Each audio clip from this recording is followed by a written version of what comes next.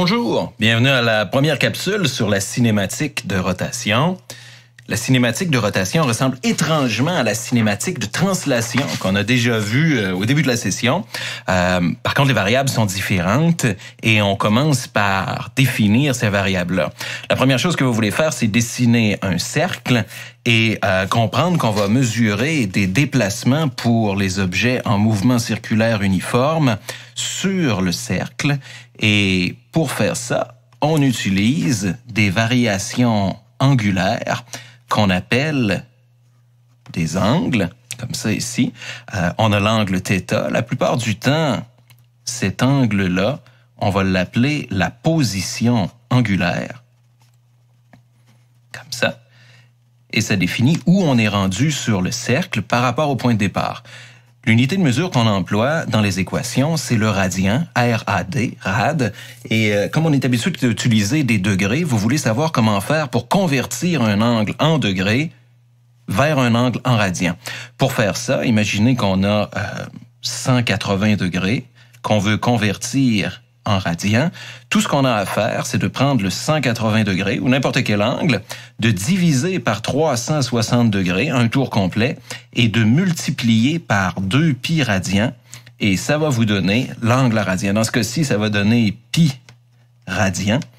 Un tour complet, c'est 2 pi radians. La moitié d'un tour, 180 degrés, c'est pi radian. Un quart de tour, c'est pi sur 2 radians. Ainsi de suite. On peut convertir n'importe quel angle en degrés en radians. Euh, maintenant, on doit parler des euh, déplacements angulaires et du temps que ça prend pour faire des mouvements. À chaque fois qu'on fait un tour complet de cercle, on appelle ça la période. On utilise T majuscule pour la période c'est en secondes. Et la période en secondes, là, c'est le temps pour faire deux pi radians. Donc, c'est le temps pour que la roue tourne d'un tour complet et d'un seul tour complet. Avec ça, on peut définir la vitesse tangentielle d'un objet en mouvement circulaire uniforme. Par exemple, si vous avez un objet ici qui est en train de tourner dans cette direction-là, comme ça, euh, vous pouvez être intéressé par la vitesse en mètres par seconde de l'objet. On l'appelle la vitesse linéaire v.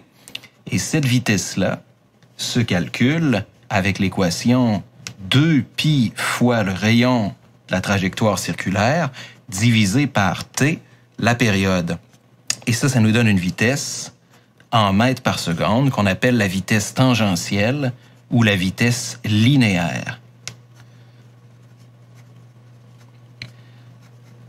C'est cette vitesse-là qui est indiquée sur l'odomètre d'une voiture qui est en train de tourner euh, dans une entrée d'autoroute, par exemple, ou sur une trajectoire circulaire uniforme quelconque, la vitesse en kilomètre heure ou en mètres par seconde qui est indiquée sur le tableau de bord de la voiture, c'est la vitesse tangentielle. Il existe une autre vitesse importante qu'on appelle la vitesse angulaire. La vitesse angulaire, son symbole, c'est oméga.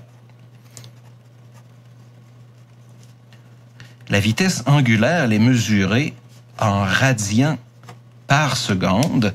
Ça, c'est la vitesse à laquelle on tourne. Pour calculer la vitesse angulaire, oméga, ça nous prend le déplacement angulaire delta θ divisé par le temps que ça prend pour faire ce déplacement-là. Le déplacement angulaire delta θ,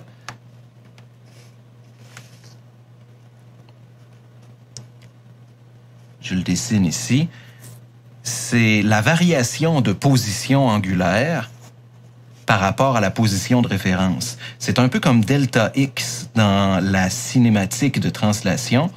On dit que c'est égal à θ moins θ 0, où θ 0 est la position angulaire θ en radian au temps t égale 0. C'est la position angulaire initiale. Et puis θ tout court, c'est la position angulaire maintenant ou finale on peut l'appeler θ final, θ initial. Je mets un E à la fin de final et initial parce que c'est la position angulaire au féminin. Euh, évidemment, c'est mesuré en radians et le temps t, lui, est mesuré en secondes et ça va nous donner une vitesse angulaire en radians divisé par des secondes. Tout est cohérent. On peut aussi définir l'accélération angulaire. Dans le cas où la roue tournerait de plus en plus vite au fur et à mesure que le temps avance, la vitesse oméga ne sera pas constante, elle va augmenter et on peut définir ce qu'on appelle alpha, l'accélération angulaire, accélération angulaire, j'ai pas de place à l'écrire au complet. L'équation pour obtenir alpha, c'est la variation de vitesse angulaire, donc delta oméga, divisé par le temps que ça prend pour faire cette variation-là. Delta oméga, vous l'avez probablement deviné, c'est oméga final ou maintenant moins oméga initial divisé par le temps que ça prend pour faire ce changement de vitesse-là entre oméga 0, oméga initial, et oméga tout court, oméga maintenant. L'accélération angulaire a des unités de radians par seconde carrée. C'est un peu comme l'accélération A tout court qu'on avait pour la cinématique de translation qui était mesurée non pas en radians par seconde carrée, mais en mètres par seconde carrée. C'est le même principe. Euh, ça fait le tour de l'essentiel des variables importantes pour la cinématique de rotation. Et je vais changer de feuille et je vais donner les équations de la cinématique de rotation qui permettent de solutionner les problèmes et les exercices.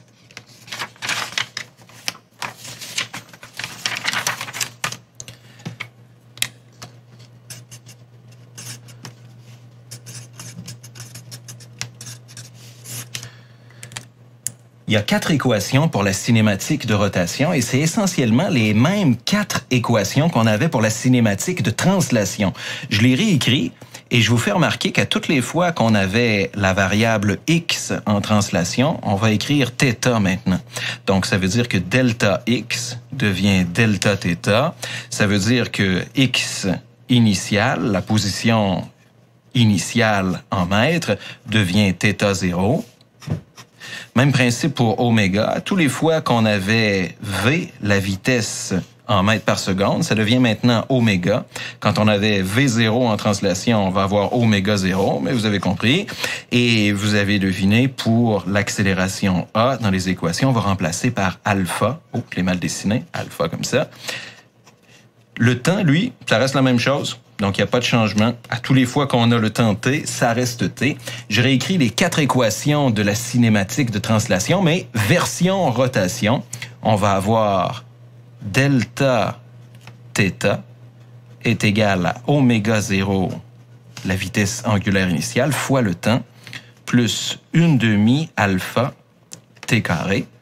Ensuite, on va avoir oméga, la vitesse angulaire finale, est égale à oméga 0 plus alpha fois le temps, on va avoir oméga carré, la vitesse angulaire finale au carré est égale à oméga 0 au carré, vitesse angulaire initiale au carré, plus deux fois l'accélération angulaire multipliée par le déplacement angulaire. Et finalement, delta θ le déplacement angulaire est égal à une demi-parenthèse, les deux vitesses, oméga plus oméga 0 additionné, fermé parenthèse, et multiplié par le temps. Donc ça nous fait une, deux, trois, quatre équations pour les euh, la cinématique de rotation. C'est euh, votre boîte à outils. Euh, quand on fait les exercices, on regarde qu'est-ce qu'on connaît, qu'est-ce qu'on cherche, et on choisit une des quatre équations ou deux équations en même temps si nécessaire, où l'inconnu qu'on recherche se trouve. Et c'est essentiellement le même principe qu'avec la cinématique de translation.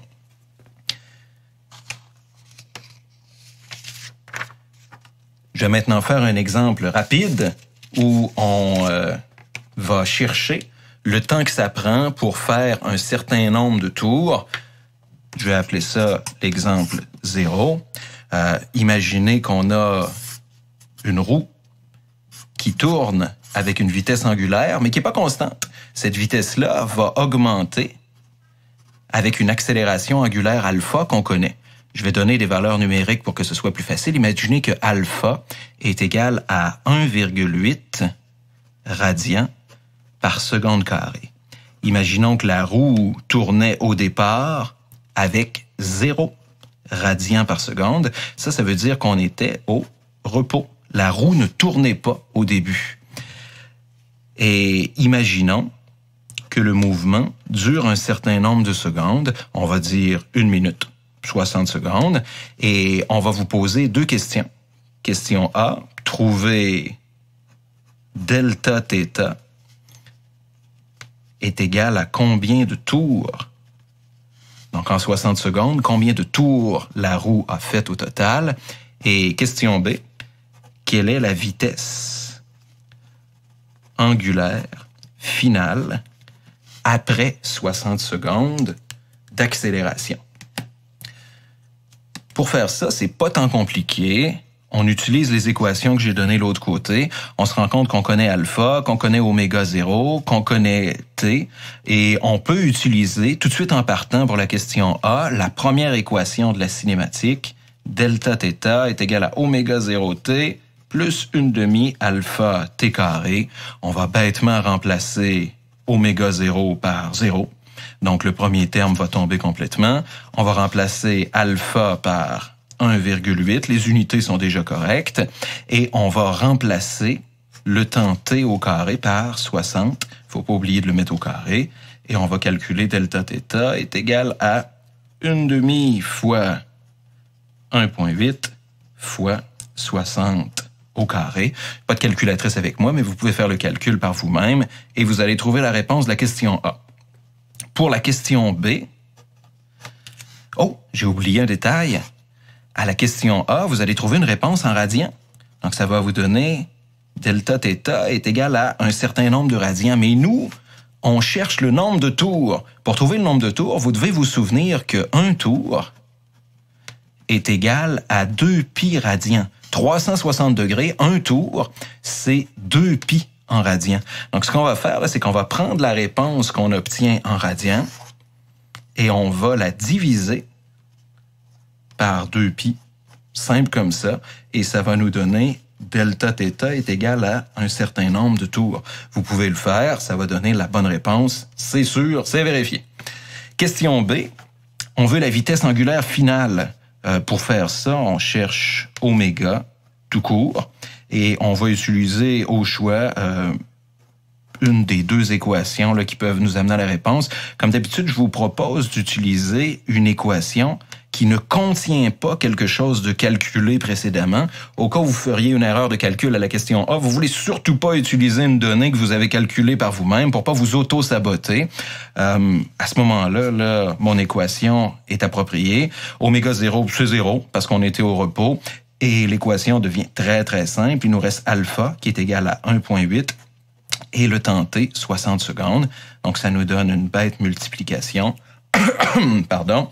1.8 fois 60. On calcule ça et on va avoir une réponse qui est en radians par seconde. Les radians par seconde, c'est cool, c'est ce qu'on utilise toujours dans nos équations, mais d'habitude dans la rue, surtout à Limoilou Wild, c'est pas quelque chose que vous voulez utiliser comme unité de mesure.